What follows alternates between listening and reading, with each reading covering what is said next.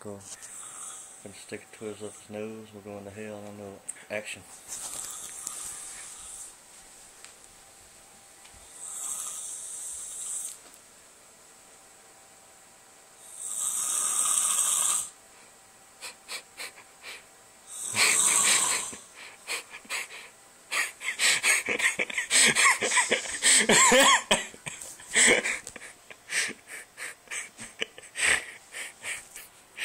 hey, stop, motherfucker.